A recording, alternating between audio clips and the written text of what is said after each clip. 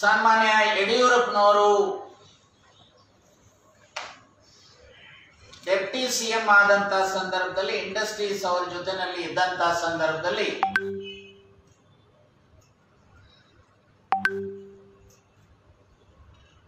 ಹಣಕ್ಕೋಸ್ಕರ, ಲಾಭಕ್ಕೋಸ್ಕರ ಅದನ್ನ denotify ಮಾಡತಕ್ಕಂಥದಕ್ಕೆ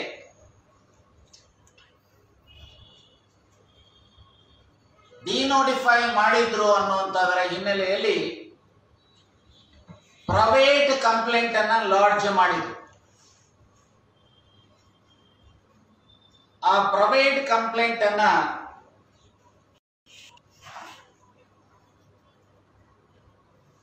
court cognizance ತೆಗೆದುಕೊಂಡು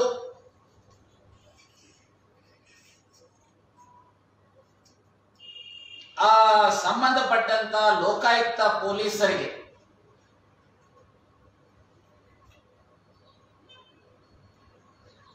ಆದೇಶ ಮಾಡಿ ಇವರ ಮೇಲೆ ಕಾನೂನು ರೀತಿಯ ಕ್ರಮ ಜರುಗಿಸಬೇಕು ಅಂತೇಳಿ ಏನು ಆದೇಶ ಮಾಡಿದ್ರು. ಆ ಕಂಪ್ಲೇಂಟ್ ಅಲ್ಲಿ ನಾನು ಎರಡು ಮೂರು ಲೈನ್ ಅನ್ನ ನಿಮ್ಮ ಗಮನಕ್ಕೆ ತರಲಿಕ್ಕೆ ಬಯಸ್ತೇನೆ. Accused number 1 to 10 have acted dishonestly, fraudulently, and in conspiracy with each other to loot the valuable land for their personal benefits. Have indulged in acts of uh, manipulation of records, exercise of undue influence, cheating which are made punishable under section 120b 420 406 of the indian penal code and also prevention of corruption act section 131d 131 uh, d read with uh, section 132 of the prevention of corruption act ಅಂತ ಹೇಳಿ and ಮಾಡಿ ಇದರ ಮೇಲೆ ಲೋಕಾಯುಕ್ತರು investigation ಅನ್ನು ಮಾಡಿ FIR ಅನ್ನ ಇದರ ಆಧಾರದ ಹಿನ್ನೆಲೆಯಲ್ಲಿ ಎಫ್ಐಆರ್ ಅನ್ನ twenty first of February two thousand fifteen register ಮಾಡಿಕೊಂಡು ಇನ್ವೆಸ್ಟಿಗೇಷನ್ ಆಗ್ತಾ ಇದ್ದಂತ ಈ ಸಂದರ್ಭದಲ್ಲಿ ಇದನ್ನ ಕ್ವಾಶಿಂಗ್ ಈಗ ಯಾವ W P number five zero four three of two thousand nineteen ಇದರಲ್ಲಿ ಇದನ್ನ ಚಾಲೆಂಜ್ ಮಾಡಿದ್ರು ಫ್ಯಾಷಿಂಗ್ ಮಾಡುವಂತ ಹಿನ್ನೆಲೆಯಲ್ಲಿ ಇದರಲ್ಲಿ ಜಸ್ಟಿಸ್ ಜಾನ್ ಮೈಕೇಲ್ ಪುನ್ನಾ ಇವರು ಸ್ಪಷ್ಟವಾಗಿ ಇವತ್ತು ಹೇಳಿದ್ದಾರೆ. ಯಾವುದೇ ಕಾರಣಕ್ಕೂ ಇದರಲ್ಲಿ ಏನು ಮಾಡಿದ್ದಾರೆ ಸನ್ಮಾನ್ಯ ಆರ್ ವಿ ದೇಶಪಾಂಡೆ ಅವರು, ನಮ್ಮ ಪಕ್ಷದ ನಾಯಕರು. ಅವ್ರನ್ನೂ ಸಹ ಅಕ್ಯೂಸ್ಡ್ ಅನ್ನಾಗಿ ಮಾಡಿದ್ರು ಅಂತ ಹೇಳಿ ಆ ಕೇಸ್ನಲ್ಲಿ ಆಗಿರ್ತಕ್ಕಂಥ ಹಿನ್ನೆಲೆಯಲ್ಲಿ ಈಗಾಗಲೇ ಹೈಕೋರ್ಟ್ನವರು ಸನ್ಮಾನ್ಯ ಅರವಿ ದೇಶಪಾಂಡೆ ಅವರ ಮೇಲೆ ಯಾವುದೇ ಮೆಟೀರಿಯಲ್ಸ್ ಇಲ್ಲ ಅಂತೇಳಿ ಅದನ್ನ ಕ್ವಾಶ್ ಮಾಡಿರ್ತಕ್ಕಂಥ ಆದೇಶವನ್ನು ಸಹ ಈ ಆರ್ಡರ್ ಅಲ್ಲಿ ಪ್ರಸ್ತಾಪ ಮಾಡಿದ್ದಾರೆ. ಅದರ ಬೇಸಿಸ್ ಮೇಲೆ ಸನ್ಮಾನ್ಯ ಯಡಿಯೂರಪ್ಪನವರು ನನ್ನ ಕ್ವೇಶ್ ಕೇಸನ್ನು ಸಹ ಕ್ವಾಶ್ ಮಾಡಬೇಕು ಅನ್ನುವಂತ ಕಾರಣದಿಂದ ಹಾಕದಂತ ಹಿನ್ನೆಲೆಯಲ್ಲಿ ಅವರು ಸ್ಪಷ್ಟವಾಗಿ ಹೇಳಿದ್ದಾರೆ.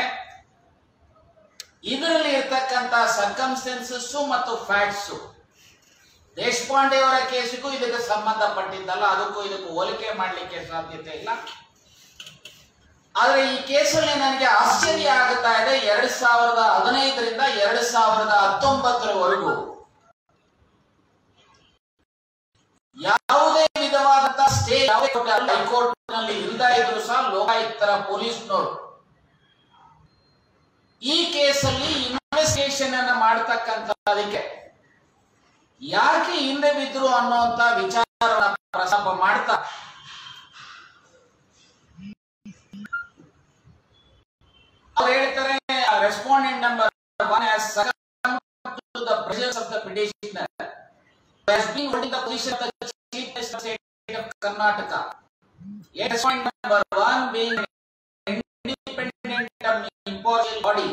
entrusted the duty of investigation into the misconduct of the public servant objectively cannot give rise to an impression in the minds of the general public that it is playing into the hands of the political bigwigs. Even though the delay in the matter calls for action, ಇದರಲ್ಲಿ ಯಾವ delay ಆಗಿರ್ತಕ್ಕಂಥ ಹಿನ್ನೆಲೆಯಲ್ಲೂ ಸಹ ಯಾವ ಪೊಲೀಸ್ನವರು ಅವರ action ತಗೊಳ್ತಕ್ಕಂಥ ಅವಕಾಶ ಇದ್ರೂ ಸಹ ಈ ಈ ಸಂದರ್ಭದಲ್ಲಿ ಯಾವುದೇ ಆಸೆ ಮಾಡೋದಿಲ್ಲ. ಅದು ಪ್ರೆಸಿಡೈಸ್ ಆಗಬಹುದು ಅನ್ನುವಂತ ಕಾರಣದಿಂದ ಅದನ್ನ ಅಲ್ಲಿಗೆ ಬಿಟ್ಟು, ಇದರ ಇನ್ವೆಸ್ಟಿಗೇಷನ್ ಅನ್ನ ಲೋಕಾಯುಕ್ತರ ಕೋರ್ಟಿನ ಸೂಪರ್ವಿಷನ್ ಅಲ್ಲಿ ಮಾಡಬೇಕು ಅನ್ನುವಂತ ಏನು ಡೈರೆಕ್ಷನ್ ಅನ್ನ ಹೈಕೋರ್ಟ್ ಕೊಟ್ಟಿದ್ದಾರೆ ಇದಕ್ಕೂ ಸಹ ಇವತ್ತು ಪ್ರಜಾಪ್ರಭುತ್ವ ವ್ಯವಸ್ಥೆಯಲ್ಲಿ ಭ್ರಷ್ಟಾಚಾರವನ್ನ ಒಳ್ಳೆಯ ಆದೇಶ ಅಂತೇಳಿ ನಾನು ಭಾವಿಸಿದ್ದೇನೆ. ಈಗ ಸನ್ಮಾನ್ಯ ಪ್ರೈಮ್ ಮಿನಿಸ್ಟರ್ ಅವರು, ನಾನು ತಿನ್ನೋದಿಲ್ಲ, ತಿನ್ನೋದಕ್ಕೂ ಬಿಡೋದಿಲ್ಲ ಅನ್ನುವಂತ ಏನು ಹೇಳಿಕೆಗಳನ್ನ ಹೇಳ್ತಾ ಬಂದಿದ್ದಾರೆ. ಭ್ರಷ್ಟಾಚಾರವನ್ನ ನಿಲ್ಲಿಸ್ ನಿಲ್ಲಿಸ್ತೀವಿ ಅಂತ ಹೇಳಿದ್ದಾರೆ. ಆದ್ರೆ ಈ ರೀಸ್ a case mister. Yediyurappa as CM and ನಾವು minister of ಸೊ ಅದಕ್ಕೋಸ್ಕರ ಮತ್ತು ಬೆನಿಫಿಟ್ಗೋಸ್ಕರ ಸುಮಾರು ಐದು ಎಕರೆ ಒಂದು ಗುಂಟೆ ಜಮೀನನ್ನ ಅಲಾಟ್ ಅಕ್ವೈರ್ ಆಗಿ ಕೆಡಿನಿಂದ ಅಕ್ವೈರ್ ಆಗಿ ಯಾರಿಗೆ ಇಂಡಸ್ಟ್ರಿಯಲಿಸ್ಟ್ ಇನ್ನಿತರರಿಗೆ ಅಲರ್ಟ್ ಆಗಿತ್ತು ಅದನ್ನ ಡಿನೋಟಿಫೈ ಮಾಡಿ ಪರ್ಸನಲ್ ಲಾಭಕ್ಕೋಸ್ಕರ ಮಾಡ್ಕೊಂಡಿರ್ತಕ್ಕಂಥದ್ರಲ್ಲಿ ಇನ್ವೆಸ್ಟಿಗೇಷನ್ ಆಗಬೇಕು ಅನ್ನುವಂತ ಆದೇಶ ಇವತ್ತೇನು ಹೈಕೋರ್ಟ್ ಇಂದ ಬಂದಿದೆ. If you like this video ಬೇಗ ಲೈಕ್ ಮಾಡಿ ಕಾಮೆಂಟ್ ಮಾಡಿ ಶೇರ್ ಮಾಡಿ ಹಾಗೂ ಯೋಯೋ ಟಿವಿ ಕನ್ನಡವನ್ನು ಸಬ್ಸ್ಕ್ರೈಬ್ ಮಾಡಿ.